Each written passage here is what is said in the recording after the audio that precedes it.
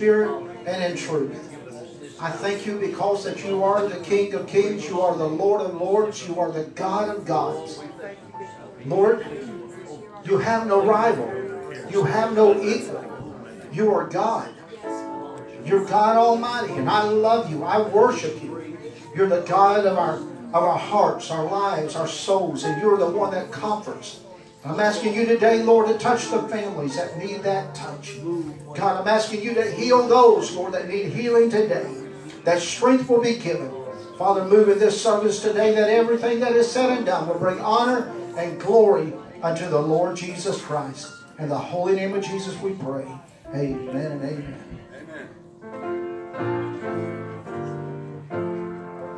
Page six we're going to start with today. I want to know more about my Lord.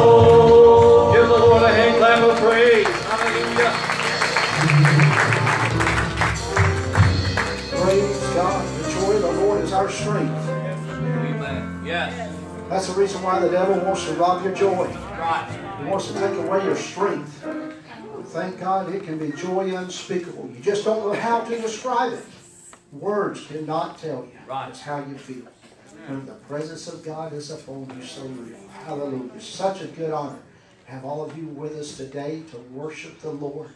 I'm going to ask you to stand. I know some of you are just seated, but if you'll stand, I want us to pray our prayer of declaration. We're going to thank God not only for what He has done, but we're going to praise Him for what He is going to do. You know, faith is believing God for things before it happens. Oh, yes. Right? That is faith. So I want you to pray this out loud. I want it to come from your heart today. Lord, upon the authority of your word, I boldly confess that I am a believer and I thank you for fulfilling your promises to me. I thank you for the salvation of my entire family, those who are saved and those who will be saved. I thank you for revealing yourself to them. I thank you for filling them with the Holy Ghost and fire. I thank you for perfect health and healing in my life and for my family. I thank you that we walk in divine favor and blessings. I am a tither and a giver. Therefore, the enemy is rebuked, the curse is broken, and I live under an open heaven. I thank you for my job and a better job, and for raises, bonus sales and commissions, interest and income, debts paid off, gifts and surprises. I am blessed going in and going out. Hallelujah. All that I do will prosper in Jesus' name. Amen and amen. Give the Lord a hand clap of praise this morning. Praise God. We just remain standing. Our ushers are coming to receive the morning tithe and offering. And I want us to pray and ask God's blessings upon this offering today as they are coming. Uh, I shared with the church the other night that on August 11th, we're going to be receiving a, a special offering for um, Angela Powell's.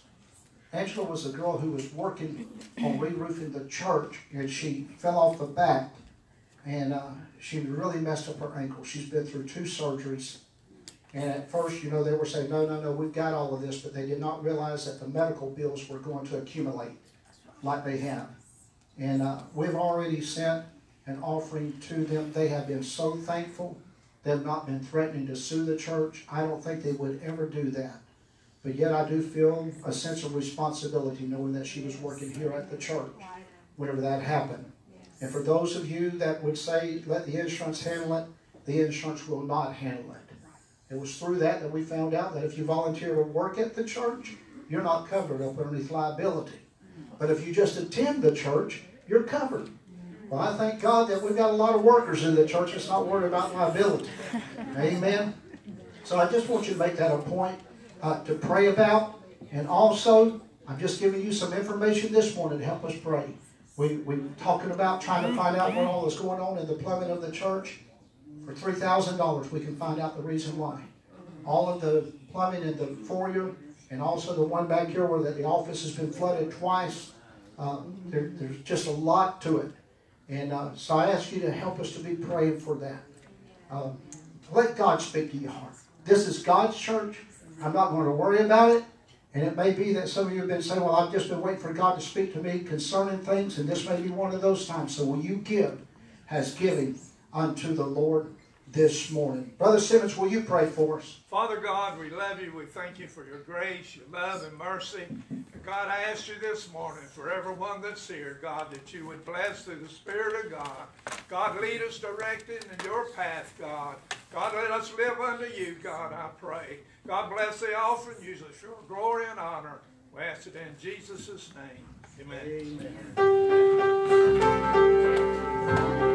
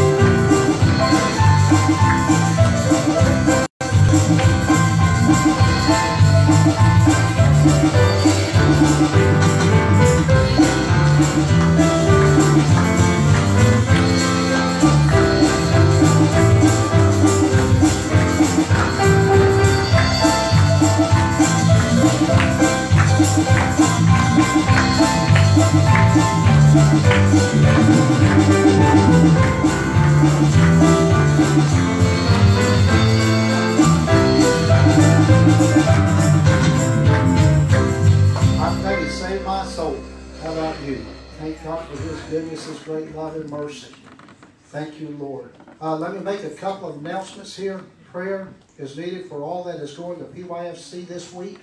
Ask you to be praying for them. Also, on Friday, August the 2nd, we're having a back to school bash and we're needing school supplies. Sister Diane has a list of supplies that the kids need. She's going online. She's got it all figured out from the, the schools that's requiring different things.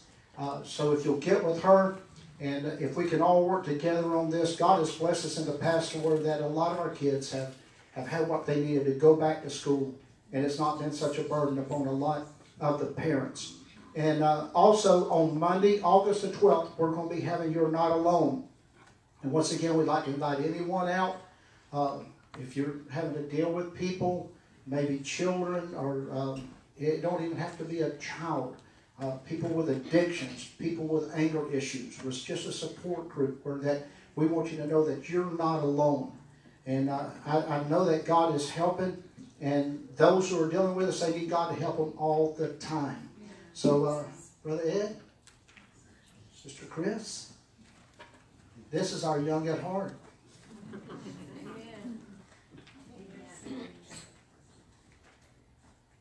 Hi, everybody. Good morning. Good morning.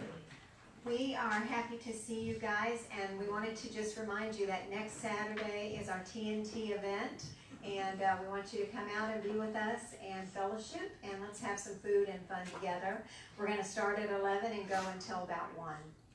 Yeah, and you want to make sure you bring a covered dish, which we have a sign-up sheet back in the foyer to sign up what you're going to bring. We're not setting any kind of a menu, so we know that everyone, our seniors really show up and show out in this part of it. So get ready, and of course there'll be some good giveaways and some fun things going on. And uh, it's at 11 a.m. just this next Saturday. It's right here at us, and it's kind of a red, white, and blue event. So if you want to wear something patriotic, that would be great. It, it's a little bit beyond Fourth of July, but this is going to be our uh, Fourth of July kind of event. So please come out, bring a friend, and be here next Saturday, the 27th at 11 a.m. Bless you guys.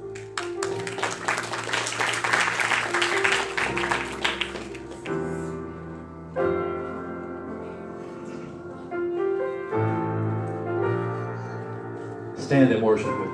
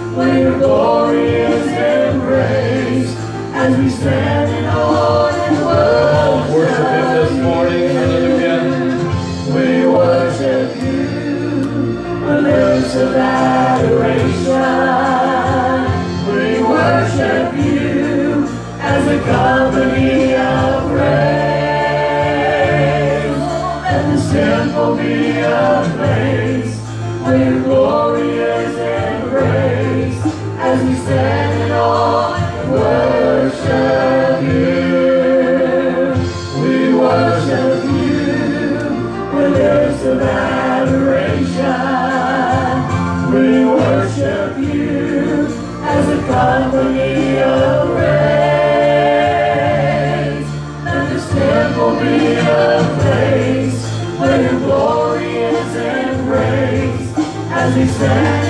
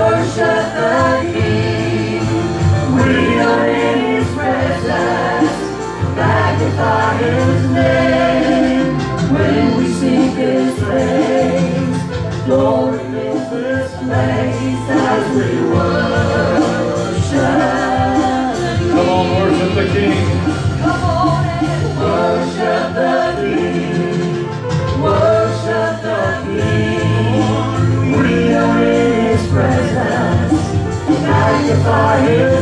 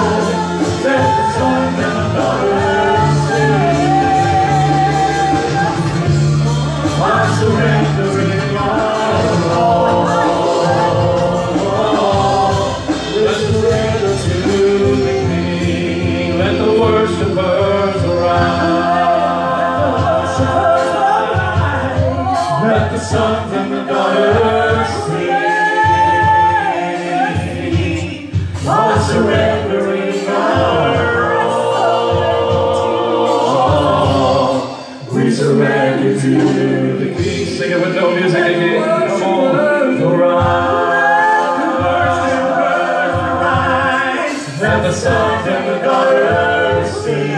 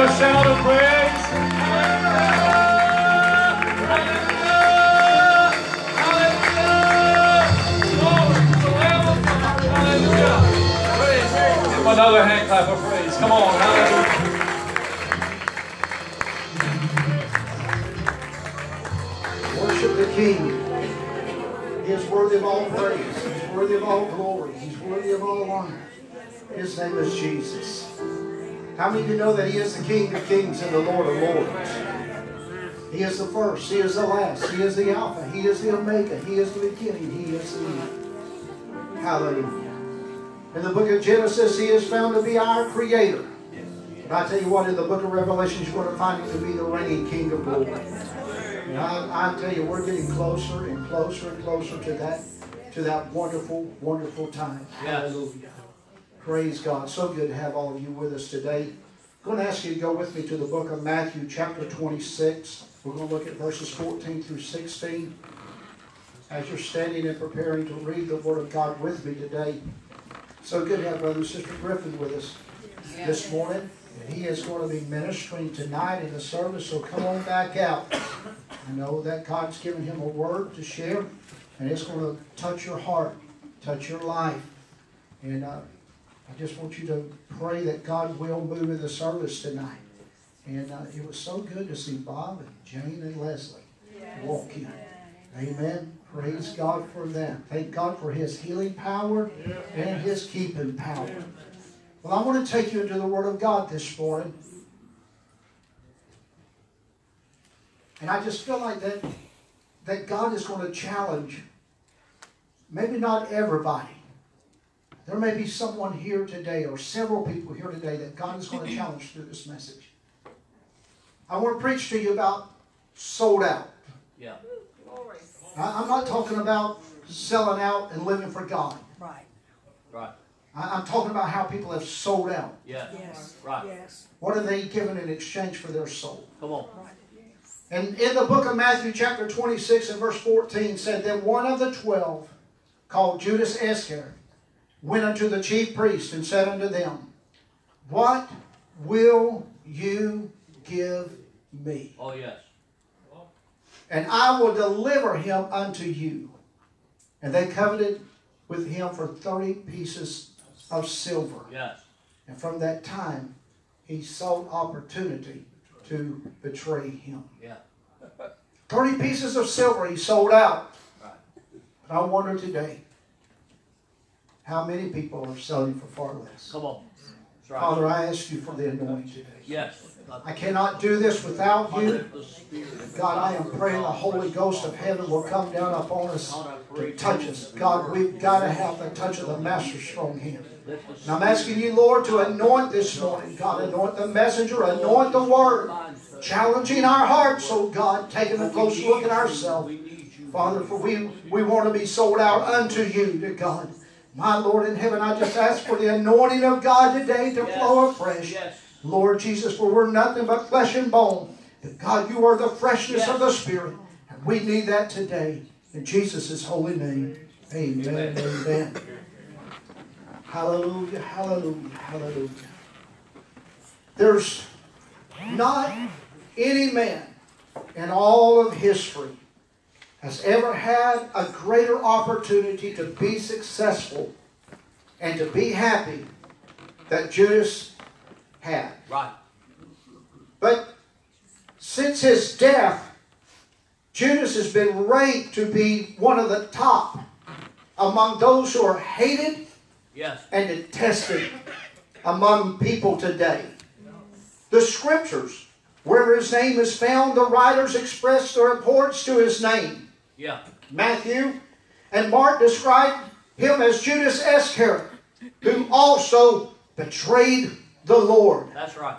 Luke, he called him a traitor. Yeah. John, that beloved, labeled him as a thief. And even Jesus, that sweet, tender man of Galilee, he looked and said it'd been good for that man if he had never been born. Never been born. Right. That's good. I, I think about Judas and how that today that we can look at him and discuss what it might have been if he had done something different. Because the picture of Judas is a typical picture of literally thousands of people of our day that we live in today, not just 2,000 years ago, but even this day. Right. Judas was honored to have his name included with the 12. Can you imagine that prestige? Can you imagine how that would make you feel to know that you were one of the 12 chosen, one of the 12 selected? Right. And had he not sold Christ for 30 pieces of silver, he could have had his name inscribed like Peter and James and John and Andrew up there in glory, along with the foundations of that city of God. But because of what he did, he is not known to be a notable man, but instead people despise him. Many despise the name of Judas. Right. I want to look, I want you to look with me at something first of all.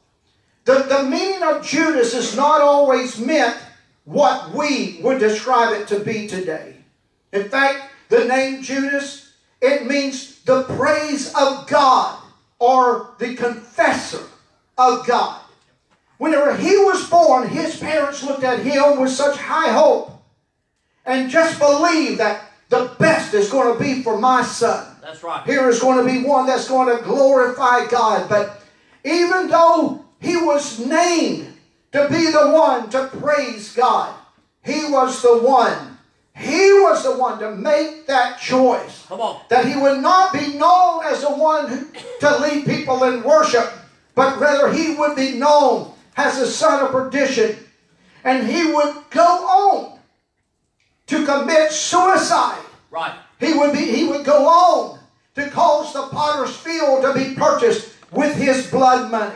You see, Judas, he might have been like the apostle Peter, where he could have walked down the street and just the shadow of him passing over Come on. would have healed people. He could have been like John the Revelator, where that God revealed things so deeply to him and, and revealed what would come to pass in the end. But Judas was the one to make his choice and to make his decision. Yes, he was. Instead of all of those things, um, he has now a life that casts a shadow of reproach, and, and people don't want to walk like him, so they say. In the days of Judas Iscariot, the name of Judas was one of the most popular names, but it's not very popular today, No. and especially among those who are Christians. Right. If you are a Christian parent, you were a Christian whenever that child was born, and if it was a son, I did not even have Judas come across my name list whenever I knew that Dustin was there. I, I wasn't thinking about calling him Judas. Uh, who would ever want to call their son a traitor? One who sold Christ for 30 pieces of silver. Yes. No, but I'm telling you today, uh, people just almost despise uh, his name. In fact, one of the one of the poets wrote and said, "Of all the works of tongue and pen, the saddest of these it might have been whenever he referred back to Judas." And I want you to understand, like Judas, every one of us here this morning, we are acting upon our own will. Yes. Right. Come on. We are acting upon our own will. Judas was not compelled to sin. Whenever he was born, he was not destined to be lost. He acted entirely of his own will. Think about this in Acts 1 and 25, where that the writer said Judas by transgression fell, that he might go to his own place. Right. What is he talking about? He's the one to- that chose where he would go. He's the one who chose hell over heaven. I want you to remember this morning that no one is born to be lost. It's God's will for all men, women, boys, and girls to be saved. Right. It's God's will for all humanity to come to the knowledge of truth.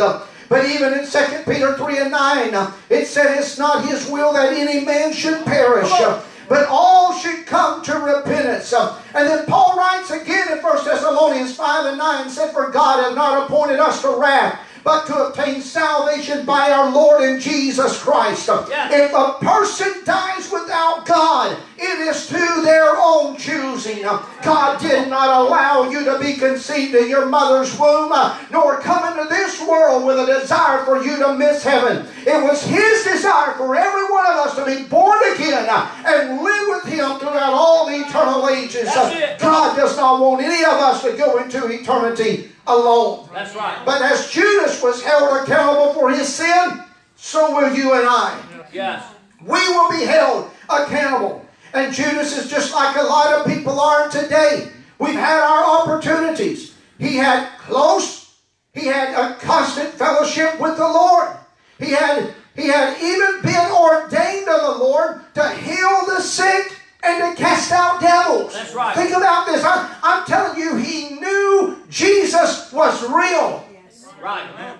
He knew he was the Son of God. Yes. There's some people get in church for a little bit and then they get out and say, Well, I didn't never know if he was real or not. Judas had no doubt. In fact, it seems like at times that he could have been like a bosom friend of the Lord. For even at the Last Supper, John is sitting there with Christ. He's leaning up on his bosom. And whenever that they ask, Lord, who shall betray you? He is in such closeness uh, until the Lord is able to put a piece of bread uh, and sop it up and hand it over to him while John is still laying upon his breast. Uh, that tells you how close Judas was to Jesus. Oh. I mean, he wasn't trying to sit at the other end of the table. Uh, he's sitting up there within hand's reach. Uh, no doubt one even said it was possible he was sitting to the left of Christ while John was sitting to the right of Christ. Uh, he was that close. No, he did not have to be lost. It was his choosing. For three years he listened to the Master's voice. He heard the preaching. He listened to Jesus expound the parables. He listened as Jesus broke it all down to them whenever the multitudes could not understand.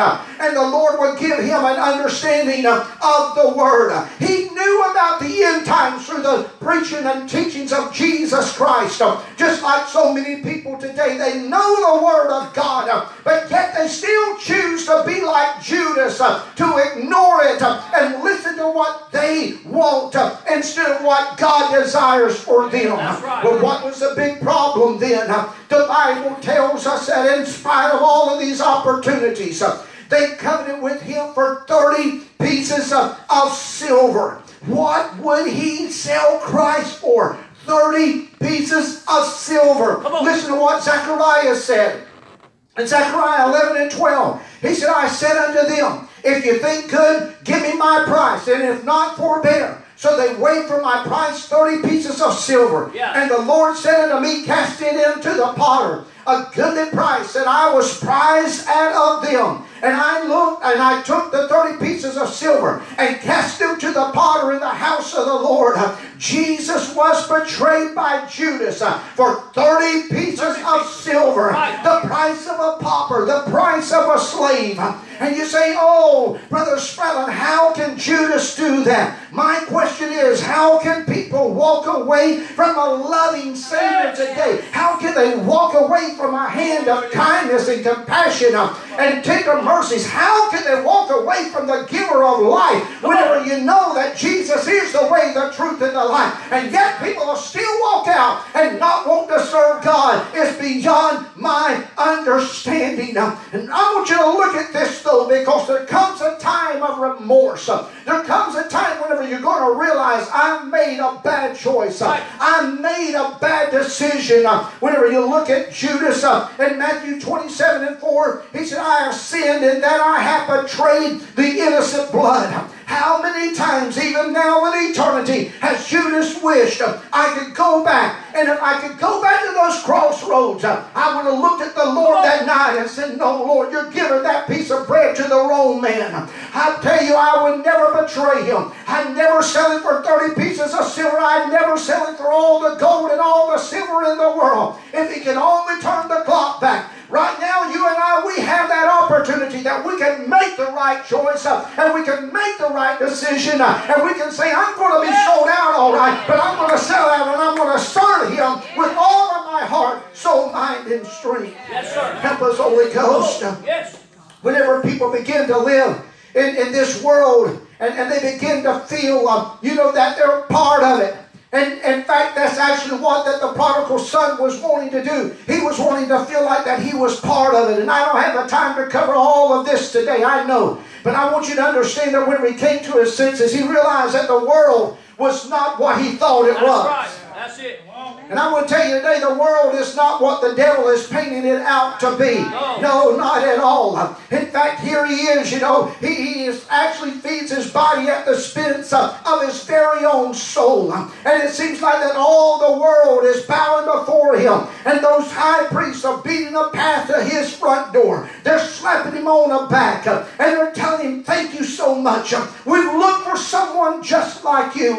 But now in his time of grief and sorrow, there is no one to hold him and love him and tell him, son, you made the right decision. In fact, the very people that were trying to beat the path down to his door, they're looking back up on him and they're saying, what is that to us? He says, here's your money back. I betrayed innocent blood. What is that to us? You're the one that did it.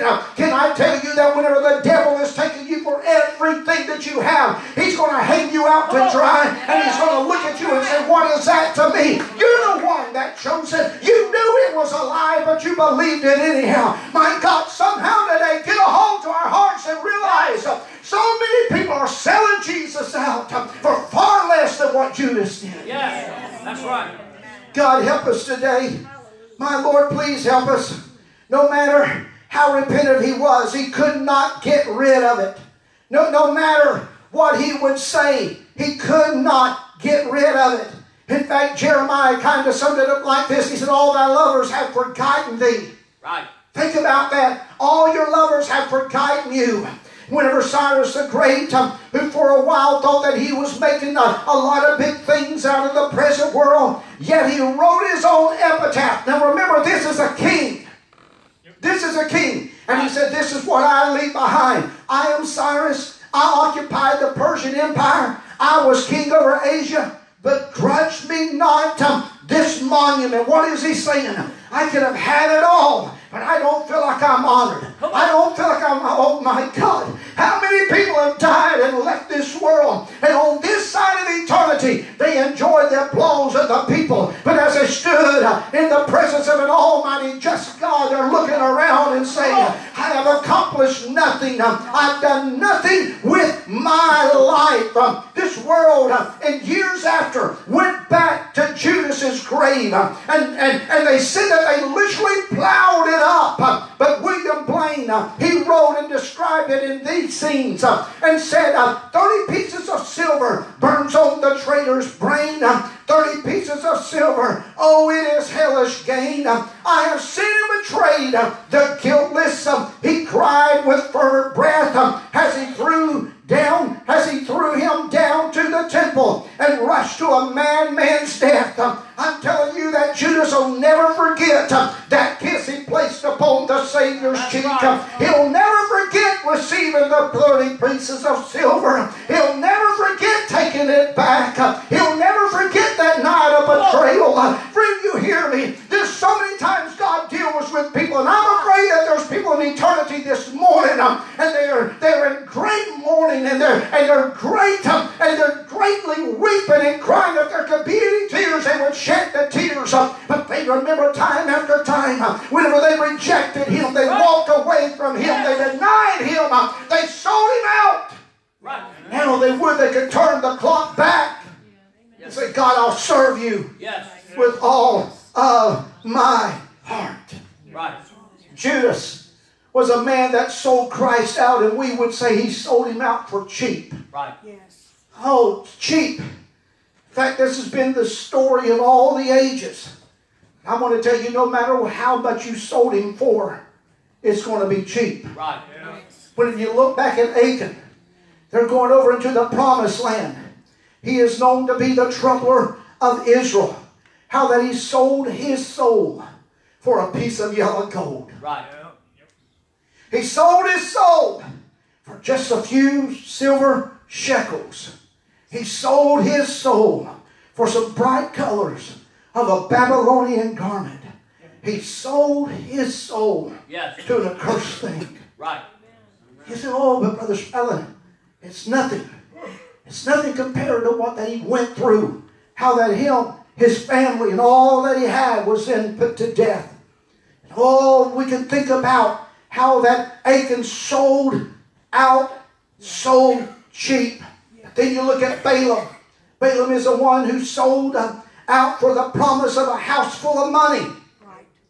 Think about it. Right. And I know you say, well, I remember reading the story and, and it seemed like he was a man of God. Yes, but he sold himself out. That's the reason why whenever war went up against uh, Balak, Balaam was also killed. Right. He sold his soul. Yes. And, and listen to this about Balaam. The Bible said this is what that uh, uh, the Apostle Peter said. He said, false teachers have forsaken the right way and they've gone astray following the way of Balaam the son of Bosor, who loved the wages of unrighteousness. Jude wrote about him and said, Woe unto them, for they have gone in the way of Cain, and ran greedily after the error of Balaam for reward, and, and, perished in the gainsaying of Korah. And what about in 1 Kings 21 and 25? But there was none like unto Ahab. Yeah. Now, think about it. Achan sold out for gold and silver and a Babylonian garment. And here Balaam is sold out. Why? He's wanting a house full of treasures that Balak has promised unto him. Can I remind you, though you know this, uh, whenever you leave this world, you're not going to take an ounce of gold with you. Uh, You're not going to take the finest of garments with you. uh, But you shall stand before God holy uh, and all things revealed. uh, Oh, friend, uh, you'll be totally unclothed. Uh, You're going to stand before Him, and God's going to look upon you and say, I see your heart. I don't see what you've accomplished in this world. I've seen your heart. And now, whenever, whenever you take a look at Ahab, the Bible said that he did sell himself to work wickedness in the sight of the Lord, whom Jezebel, his wife, stirred up. Ahab sold himself to carry out the wicked deeds of somebody else Right. That's it. wanting the approval of his wife. He sold his soul. Yes. Come on. It's not worth it. No, it's not. No. We used to sing that song that says, If mama doesn't make it, Yeah. I'm going to make it. Yes. If daddy doesn't make it, I'm going to make it. If my brother doesn't make it, I'm going to make it. If my sister doesn't make it, I'm going to make it. I'm going to make it to heaven. Hallelujah. I want to tell you right now, there are some people who said, I cannot serve God uh, because my husband is mean and, and grumpy and unruly. And some are saying, I can't serve God because of my wife, uh, uh, because she don't understand. I want to tell you this morning, I know a precious little lady whose husband left her several times because she would get up and go to church. uh, And, and he would tell her, church, I'm not going to be here whenever you get home. She'd get up and go home. But I, I'll go to church. Uh, When she come home, he would not be there. But in the end, because of her faithfulness unto God, uh, he was saved. Uh, What would have happened if she'd not been faithful unto God? She would have died and went to hell, and he could have died and went to hell right along with her. And I can tell you about a man whose wife complained about everything, but he still went to the house of God, and it was God that began to change her. Let me tell you, friend, you better hold on to Jesus. It doesn't matter what your husband or your wife sins, Jesus is still your everything. And it's going to be worth every torment, it's going to be worth every kind of word, it's going to be worth every slam, and everything else just to hear him say, Well done. Enter into the joys of the Lord. And guess what you're going to do? You're going to be shouting up and down the hills of glory saying, Hallelujah, I made it. And it's been worth every tear I cried. It's been worth every trial I've had to walk through. When I get to see Jesus, it's going to be worth it all. Hallelujah, hallelujah, hallelujah, hallelujah. I know people today say, well, if I'd been in Judas's place, I would have done it different. If I'd been in, in Achan's place, I would have done it different. If I'd been in Balaam's place, if I'd been in Ahab's place. But the thing is, you're sitting in your place today. And what are you going to do different? Right. What are you going to do different? That's good. Come Because on. Christ is still being sold out for the same thing that Judas sold him for, Achan sold him for, Balaam sold him for, Ahab sold him for. People are still saying the reason why they cannot serve God. But whenever you stand before God, He's not going to look for excuses. No. He's just going to ask you, like that Haggai did in chapter 1, verse 5, where he said, consider your ways. That's right. Consider your way. Consider what you've done. Yes. You know, whenever you stop to think about it, Judas received the 30 pieces of silver, but he never received anything from the silver. No. No. He never bought a cold drink. He never bought a pair of shoes. No. He never bought him a new suit of clothes. No. He received it, but yet he did not get anything from it. That's good. That's it. You see- Come on. That's the way that the world is, though, church. I, I, I mean, if, if we could see it, what he betrayed the Lord for did not bring him any satisfaction at all. No, it did not. But what it did bring him was remorse. Yes. How can I go spend this? This is blood money. Innocent blood at that. I'm not turning in a man that is guilty of murder. I- I'm, I'm not turning in a man that is a thief. This is the Son of God. I think about what that Solomon had to say in Ecclesiastes 12 and 8, where that he said, Vanity of vanities. Yes. All is vanity. All is You know what he is saying? Emptiness of emptinesses. Yes. All is emptiness. Come on. Because without God, you have nothing. That's right. If you're living today without God, you just have a just a hollow shell of a man. Because it's only God that can fill us up and give us what that we need That's right. on the inside. Whenever a man starts to face eternity without God, that man then begins to realize how big of a fool that he has been Yes. while living in this crazy world. He realizes that the, the world gave that enchantment. That world pleaded with him.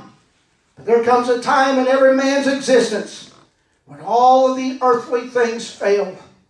The value comes to nothing. Right.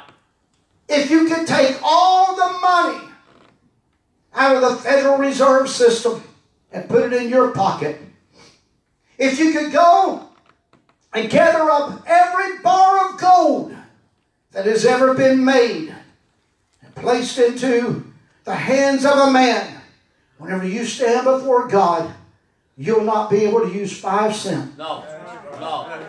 That's right. That's right. You won't be able to use any of it. You're going to be just like Judas. You had it all, but it profits you nothing. Many people have sold out to the devil, and today they have nothing to show for it but remorse, guilt, and a wrecked life. They sold out to the devil. Today their homes are broken, Yes. dreams are shattered, and their life is most miserable, and they're all alone and they're all empty. And no matter if they're sitting amongst friends of 10,000, they're still feeling all alone. One philosopher made this statement, and I know that some of you have heard this over the years, and he said that every man has his price. He meant that by this that there was a price that every man would sell his soul out for. And that may be true in most circumstances, but thank God it's not true in every circumstance. Right. I believe there are some people that are sitting in this church this morning who would say, I wouldn't sell him for the world. Right. I wouldn't sell him for the applause of men. I would not sell him for all the gold and all the silver. He's not for sale. Right. He is the love of my life. He is the keeper of my heart and my soul. He is the giver of life. He's everything I need. And He's not for sale. So you can take your silver, your gold. uh, you can take all of your amusement. You can take everything else and go on down the road. uh, because it's just not for sale. Right. Not for sale. My dad left a collection of knives, and I have them up on my office wall. And I really don't know where he accumulated those knives from. I know that after he passed away, Mom, she asked me, she said, Would you like to have your dad's knives? I said, Sure. I've had people walk into the office, they have admired those knives. They've asked a lot of questions about them. Can I get close enough to read? I want to see what the little label has to say. I want to tell you today that those knives are not for sale. Right. Those knives were my dad's, Yeah. and they're not for sale. I want you to understand that there is a gift that God has given unto me. And that was his son, Jesus Christ. Oh, yes. He paid the fullest of all prices. And he is not for sale. No. He is not for sale. I'd rather have Jesus than anything else. Everything else is just going to fade away. I want you to listen to this poem this morning. It said, uh, It may not be for silver, it may not be for gold, but still by tens of thousands is this precious Savior sold. Yes. He's been sold for a godless friendship, sold for a selfish aim, sold for a fleeting trifle, sold for an empty name, sold for an awful bargain. None but God's eye can see. Ponder my soul the question Shall he be sold by thee? Sold, and a weeping angel records the fatal choice.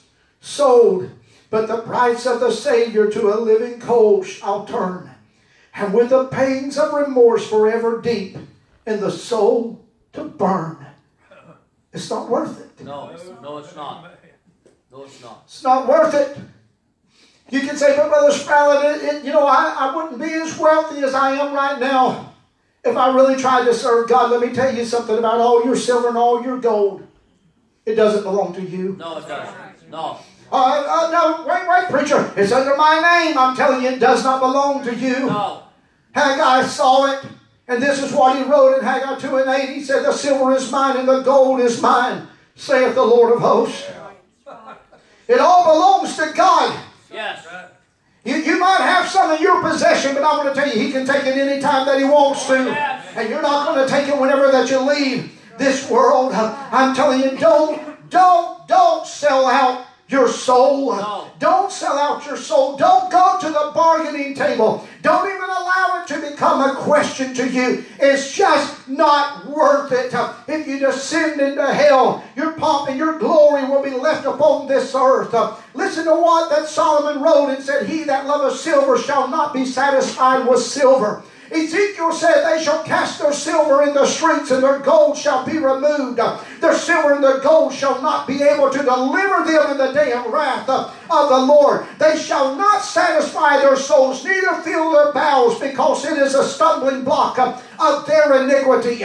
You know what? It may not be eternity that you finally begin to realize your silver and your gold is not enough. If money was enough, I'm telling you uh, that Bill Gates would never die because he has the money that he could buy life. But eternal life is not purchased with the money of mankind. It's been purchased through the blood that Jesus shed on an old rugged cross. And I want to tell you that Jesus was even tempted uh, by the devil himself. Uh, and he took him up and showed him all the world and said, I'll give you this if you'll just bow to me. But he said, No, Satan, it's not worth it. I'll honor my Father. I'll live with him in glory. And he will not sell out his Father. Neither shall I sell out the Father. I have too much to lose and nothing to gain if I sell out the Lord Jesus Christ. That's right. Come on.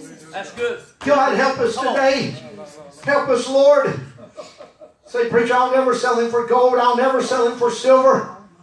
But Jesus asked this question and said, For what shall it profit a man if he gain the whole world and lose his oh. own soul? That's right. There, there's people today that's just sold their souls out for little, little ridiculous trinkets, Yes.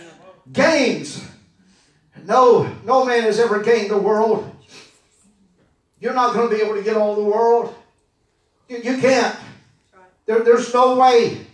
But Jesus said if a man could gain the world yet lose his own soul, he said it's not going to be no profit. No. Jesus was looking into the realms of eternity, wasn't he? What about Pilate? Though that he was convinced that Jesus Christ was a good man, he was convinced that Jesus Christ was a harmless man. But when we began to hear the cry of the crowd who said, If I'll let this man go, thou art not Caesar's, Caesar's friend. Right. He gave into the crowd that day. But can I tell you something about Caesar? Caesar would have had no problem taking Pilate's life away from him. No. He wanted to be a friend. He was trying to be a friend to a man that no doubt he would never really be close to. And there's some people today that's trying to do the very same thing. They're still trying to hold on to something, hoping that it will be greater in the end. If I can just hold on. So you know what he did? He sold out for a godless friend Right. in exchange for a friend who said, I will never leave you nor forsake. or forsake you. That's right.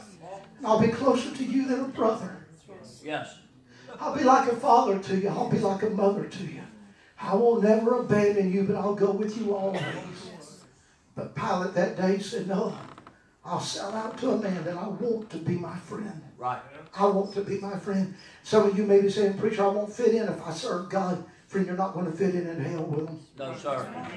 No. You're not. You're, you're not going to fit in. Yeah, but preacher, I'll, I'll lose some friends. No, they're not your friends. They're just your acquaintances.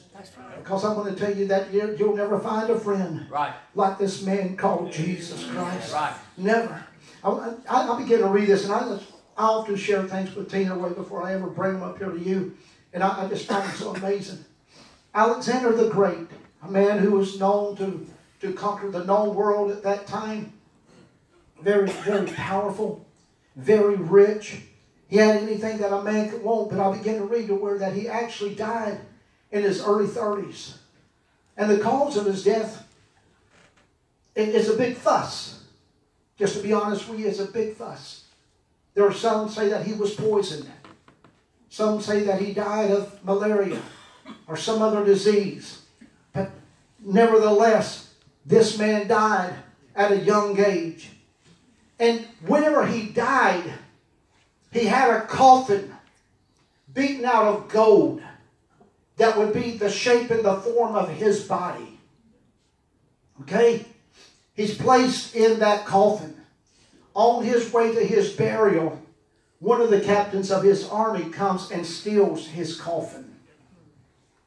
It's actually 30 days before that he ever comes to his burial place. Here's a man of power. Here's a man of authority. And I, I started reading that word that he told them, he said, on the way to my tomb, he said, I want you to sprinkle wealth and riches along the way. And they said, why? He said, I want people to understand that you cannot take it with you. That's right. You're going to leave it behind. That's right. Oh, my Lord. Listen to this. His tomb had been raided. His body has been stolen. In fact, today they don't even know where he's at. There was a queen who rose up, and they said that she was in need of money, and went and made a cheaper coffin and put his body in it, and took the golden coffin so that way she would have money to spend. You can have everything Yes. and end up with nothing Come on. whenever you leave this world. That's right. If you could go back and ask Alexander the Great about it today, he would tell you, no, it's not worth it. It's not worth it. In fact, whenever that you really study it out, there were 63 Roman emperors who reigned, but only six of them went to the grave peacefully. Why? Anything besides God leads to sorrow That's right. leads to tragedy. Here's what, here's what Solomon said in Proverbs 10 and 7. He said that the name of the wicked shall rot. His name is going to be worth nothing. So if you've sold yourself for the selfish aims of this world, whenever that you leave this world, people are going to go. They may weep and cry and, and boo-hoo over you for a short time. Life's going to go on. Right. They're going to forget us. Life is going to pass. But I'm going to tell you, if I can make it into the portals of glory, I'll never be forgotten. Thinking of the words of Christ, He said, Whosoever shall save his life shall lose it. That's right. And I'd rather have Jesus more than anything I know today. Oh, yes. Not for the musicians that they would to come this morning. I want to ask you today, is it well with your soul?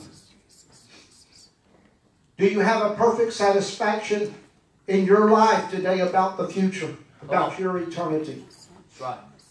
Do you know that when all of the real estate that you own is gone, and all your friends have deserted you, friend, that you have a soul that's going to spend eternity somewhere. That's right. And God's given you that opportunity to choose, to decide.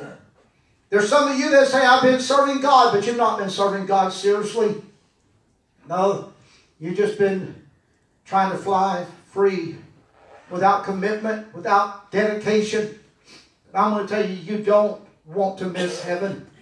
You don't want to miss heaven. No, you don't. Anything that it takes to make heaven your home, friend, is going to be worth it. It's going to be worth it.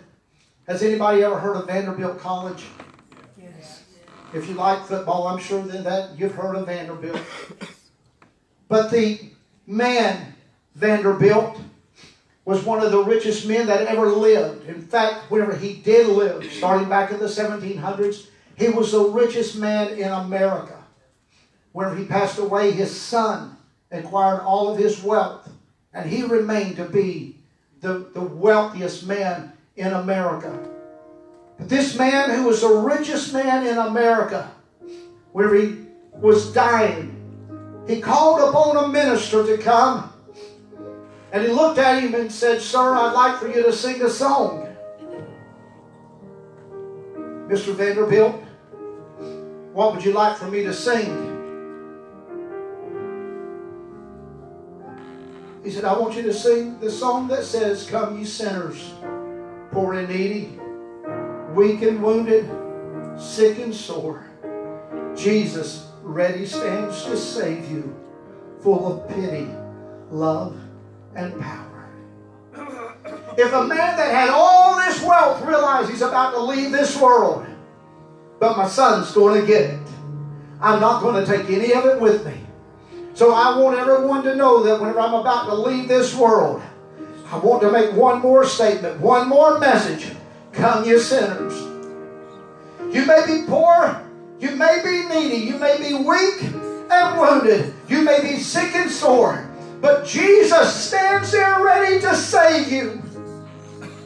And I want to tell you today, friend, if there's one of you here today that you're lost, Jesus stands there ready to save you. Brother Spradlin, I don't have anything to give him. He doesn't want your silver. He doesn't want your gold. He doesn't want your possession. All he wants is you. That's all. That's all that you're going to be able to take into eternity. You're not going to be able to take your, your vehicle. No, no, no. You're not going to be able to take anything like that with you. You're just taking yourself. Uh, that's all that you have. But whenever it has been covered by the blood of Jesus that washes away all of our sins, uh, and whenever you stand before Him and He begins to see the blood, uh, He's going to look at you and say, Come on in. Uh, enter in. Enter into the joys of the Lord. Come on to a place to where that you can walk upon the streets of purest gold. Come to a city to where the sun never stops shining because the glory of God is so bright there. I want you to know Jesus wants you in heaven. He wants all of us there. Will you please stand with me today?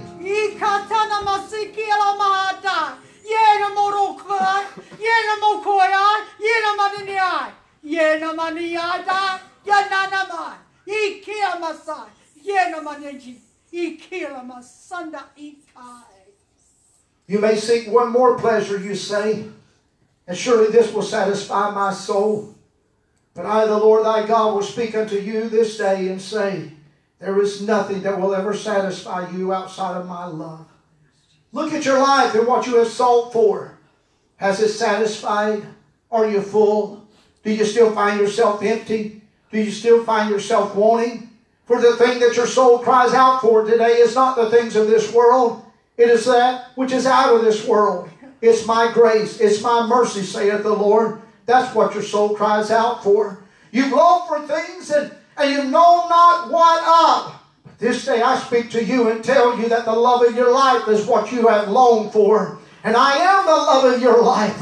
There is nothing that can ever take the place of my love. There is nothing that can ever be as full as my love. I am the love of your life, saith the Lord. And if you will come to me, then ye shall be complete and ye shall be satisfied, saith the Lord God. Ikiatana mahata. Yena monahan. Yena moria kaya na mahata. Ila manania. Ikaya na masanta. Ye na morokoya ya na mahata. Ila marai. Ikaya na masanda ikai. Measure it all. Fill your cup to the top. Let all of your pots run over, saith the Lord. Whenever you stand before me, you will stand as a poor man. You will stand before me with nothing. You will look and say, But Lord, I was this and I was that. And I will look back upon you and say, But you was lost. You refused the hand of love and a, and a Savior. Come to me this day, saith the Lord. Know that my love is fulfilling. Know that I challenge you, I challenge your heart, for I have no desire to see you perish, saith the Lord.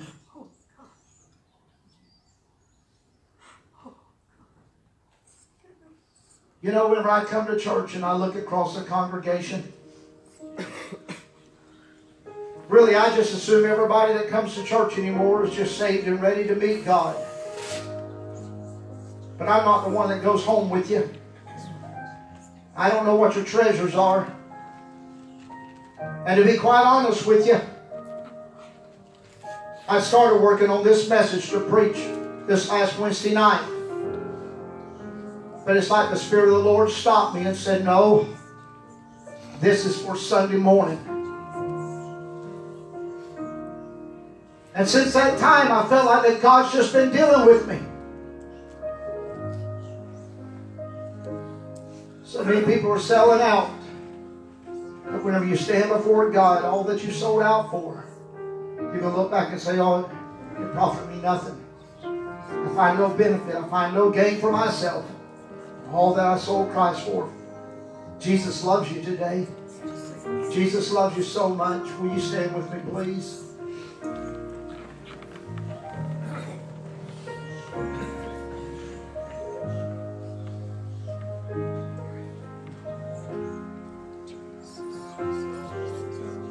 Every head bowed, every eye closed. I, I want you to picture something with me.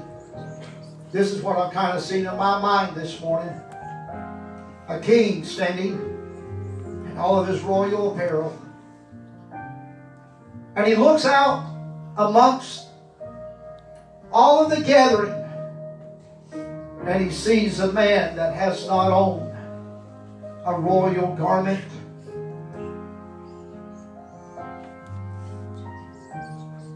He calls him to the front. The man would look at him and say, I'm sorry, sir. I don't have a wedding garment. But this king wants you at his at this wedding so bad until he says, This is what I will do. I will fit you, and I will clothe you, and I'll give you a wedding garment so that you do not miss the wedding. That's what's happened to every one of us that are saved today. We came into His presence. We were not clothed with righteousness, but His mercy and grace reached out to us and He clothed us with His love and grace. He clothed us with His righteousness. And He says, Now you're my son, now you're my daughter. And Jesus is wanting to add to that family today. He's wanting you. He's wanting you. He's wanting you. Father, I preach this morning what you laid up on my heart to preach. I just believe that, God, there's people here this morning that's been afraid to give you everything because, God, they're trying to hold on to things that they find as their security. But, Spirit of God, you're trying to tell them today those things are not security at all. They shall also pass away. Lord, I'm asking you to draw them unto you. Draw them unto you today, Lord. Draw them unto you, I pray. In the name of Jesus, in the name of Jesus, in the name of Jesus. I'd like to invite every one of you, if you would, just to come and pray. You're here today, you're saying, I want to go pray, but I don't want to go by myself. Why don't you take the hand of that person next to you and say, I want to go pray. Will you go with me? They'll go with you. Won't you just come find you a place to pray this morning? I, I just want you to sell out to God. I just want you to tell God how much He means to you. God, I, I'm not gonna I'm not gonna look to the silver, the gold, the things of this world, but Jesus, you're my everything. Can you do that this morning? Those of you who are willing to say, Lord, I'm coming to you, you're my everything. Come on, church. Let's find us a place to pray today. You're my everything, Lord. I. You're my everything, God. I don't want to be like the rest of them, Lord. I'm sold you out. Lord, I want your love.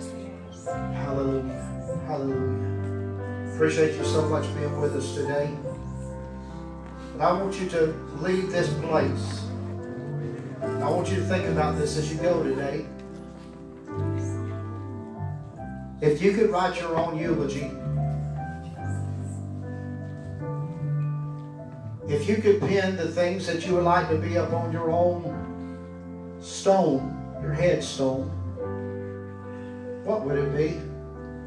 And then I would ask, does your life match what your eulogy would be? Yes. Would it match what is written upon your your tombstone? Right. I've often told people life is what's uncertain, death is certain. Yes. You have an appointment that you're going to keep with God. Right. So please be ready. There's no second chances. No, there's It's appointed unto man wants to die, and after this, the judgment. Be ready to stand before him. Why people go of all ages. Be ready. Amen. Be ready. You stand with us this morning. Appreciate you so much being here with us in the house of God. Our prayers are that God will keep you, touch you, bless you. Pray for our young people as we go to camp this week. I want God to really do something in their heart. Besides just going and having fun, they have a, a Bible service in the morning. They're going to have an evening service. And uh, let's just pray that God would just touch them in a very special way. Hallelujah. I'm going to ask Brother Ed if he would pray. Heavenly Father, we thank you for your out.